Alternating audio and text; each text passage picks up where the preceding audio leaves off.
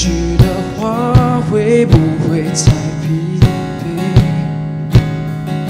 傻瓜，我有什么好累？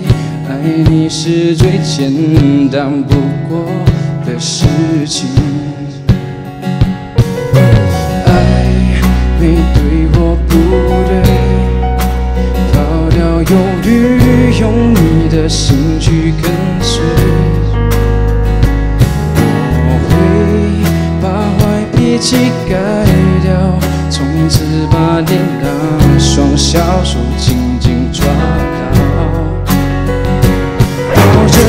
着十二月那美好的回忆，等待下一次能紧紧地抱着你。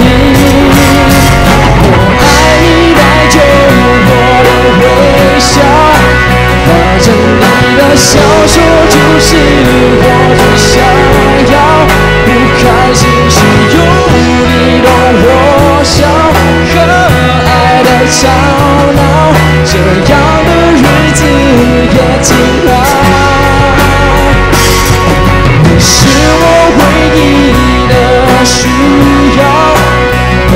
却又总是是我最好的依靠。如果你愿意用点力气和我走下去，我也会越过这点距离，用歌声爱着你。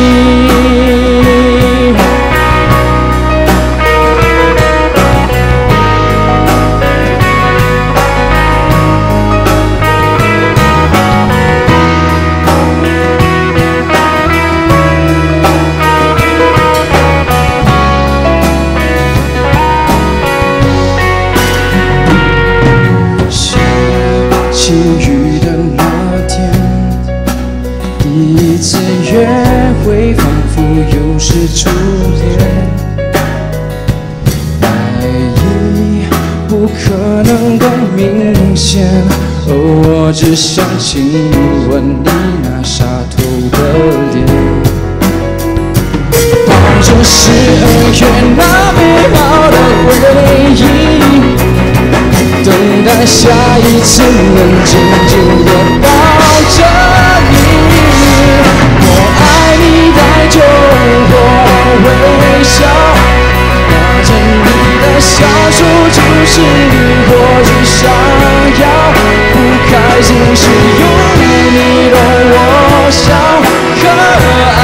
吵闹，这样的日子也挺好。你是我唯一的需要，笨拙却又总是是我最好的依靠。如果你愿意用点力气和我走下去，我也会越过这点距离，用歌声爱着。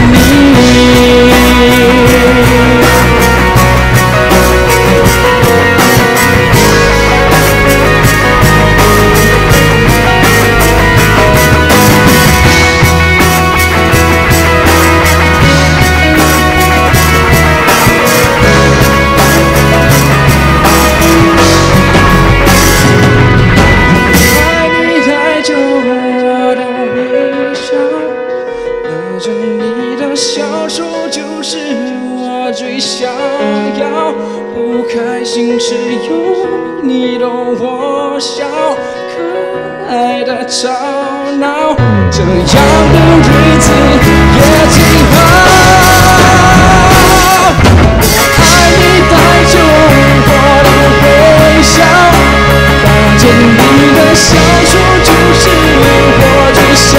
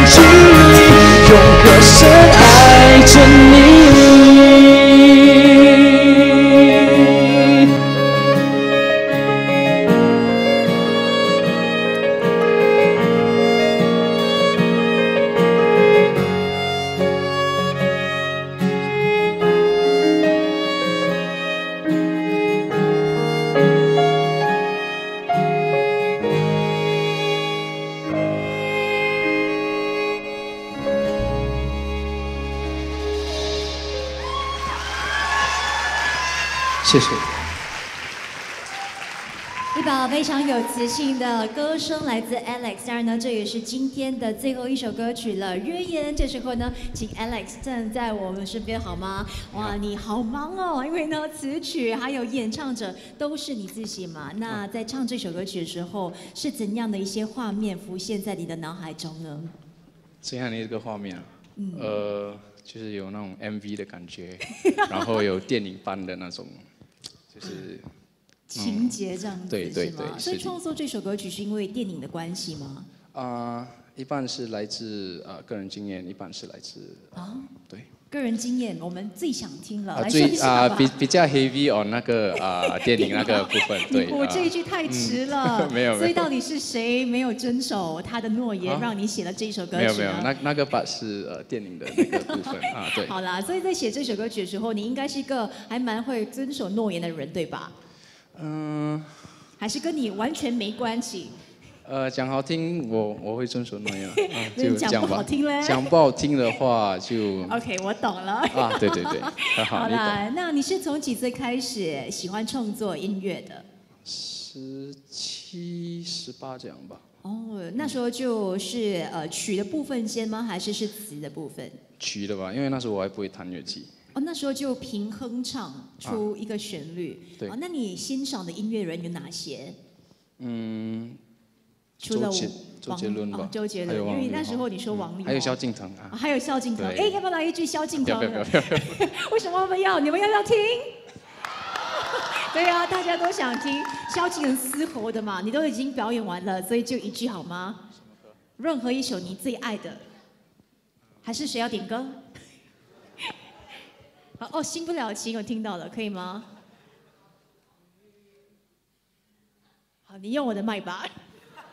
回忆过去，痛苦的相思忘不了，为何你还来拨动我心跳？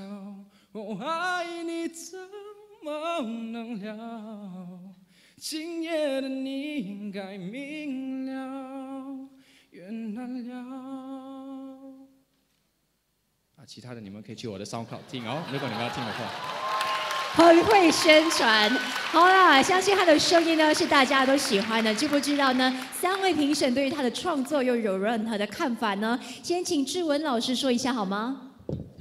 我觉得这首歌呃整体表现是我听最完整的一首啦，呃旋律的部分也写的还蛮成熟的，然后也可以是我觉得还是可以是当下就是现在流行的东西，你说流行什么呢？就是这首歌了，懂我意思吗？就是它有一个代表的，每一个每一个时代的代表的音乐都会有一一种音乐。可是当下现在的的音乐呢，我我觉得这首歌可以做一个一个代表作。好，接下来有请金童老师来说一下好吗？其实我相当喜欢这首歌的曲子，曲跟编曲都相当精彩，很有爆发力。可是可惜的是，那个歌词并没有把这个爆发力表现出来，它并没有衬托你的歌曲的力量，而反而减弱了整个歌曲的力量。所以我觉得，如果词可以重写的话，会更好。可以请呃那孙老师来说一下吗？因为既然是词的部分嘛。好，那个嗯，你的词非常直接直白，啊，那也是可能现在很多歌曲的一些走势。但是，呃，直接跟直白不代表就是内容还是要有，而且我觉得歌词一定要有一些设计在里面，不是很刻意的，但是是你可以看得出来是一些比较精心、比较有意思的东西。那很好的一个例子，就刚刚那个呃生病了，生病了也是很简单的，但是他的那个歌词的那个意思，或者说他那个画面感就会比较丰富，比较有意思。呃，所以我觉得可能这一部分可能你还要下一些功夫，怎么样去雕琢你的那个作品，好吗？好，加油！谢谢，也谢谢 Alex，谢谢，继续加油，谢谢。好，这个时候呢，要有请我们的三位评审。